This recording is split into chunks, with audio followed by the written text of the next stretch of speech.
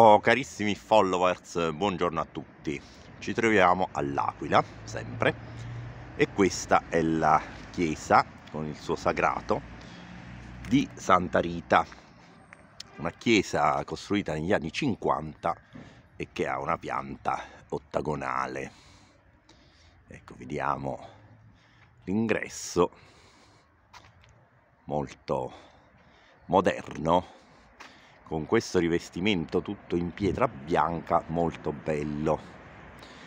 E adesso andiamo anche a vedere dietro la chiesa una particolare croce che fu mm, donata da un'associazione del paese di Ischia di Castro in provincia di Viterbo.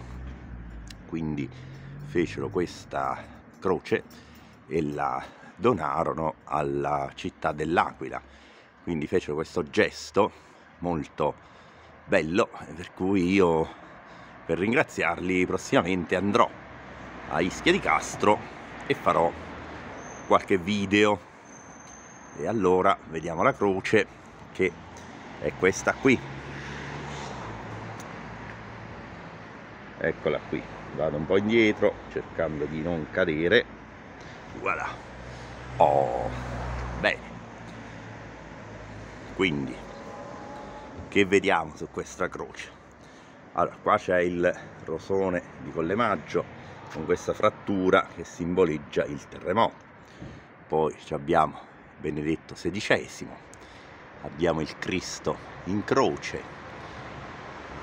abbiamo San Gabriele, poi c'è la chiesa di Collemaggio e poi c'è San Massimo, patrono dell'Aquila, che ha la città in mano.